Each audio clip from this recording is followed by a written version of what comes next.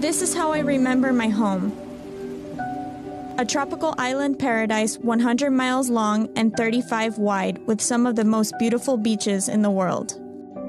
I was born in San Juan, Puerto Rico, but when I was only one, my family moved to Miami for my father's business. Although we were separated by over a thousand miles of ocean, my heart always stayed in Puerto Rico.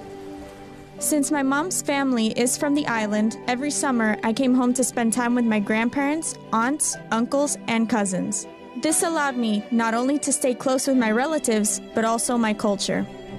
In 2016, my life was forever changed when I won the Olympics and became the first person, male or female, from Puerto Rico to ever win a gold medal.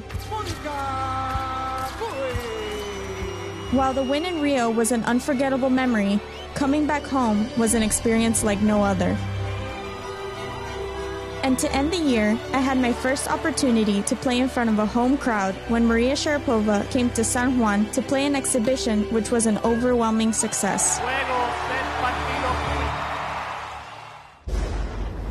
But on September 20th, 2017, 10 months later, another Maria visited Puerto Rico Hurricane Maria.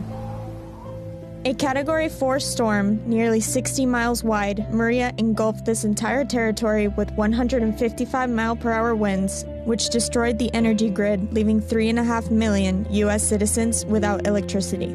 To make things even worse, 80% of the agriculture was destroyed, and half the country's population was left with no running water. I have to be open and honest. 2017 has been a struggle for me on court, but that all pales in comparison to the suffering today of the Puerto Rican people.